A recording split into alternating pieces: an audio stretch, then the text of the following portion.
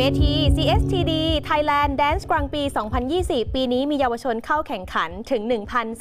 1,396 คน คิดเป็น 736 ชุดการแสดงนะคะ อาทิบันเลขคลาสสิก แจ๊สแดนเต้นรวมสมัย ฮิปฮอประบำประจำชาติ โดยผู้ชนะรางวัลประเภทสถาบันยอดเยี่ยมจากคะแนนรวมประเภทกลุ่ม Ensemble และ Trope ได้แก่เส้น and Soloist Bangkok Dance Academy ค่ะ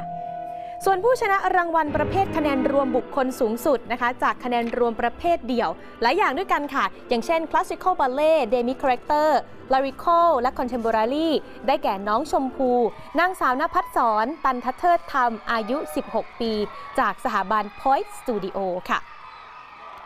CSTD Thailand Dance กลางปี 2020 จัดขึ้นเป็นครั้งที่ 7 นะคะ ถือว่าเป็นเวทีแข่งขันการเต้นมาตรฐานสากลที่ใหญ่ที่สุดในประเทศไทย โดยตัวแทนเยาวชนประเทศไทยจากเวทีนี้จะไปแข่งขันในเวทีระดับนานาชาติที่ประเทศสิงคโปร์ค่ะ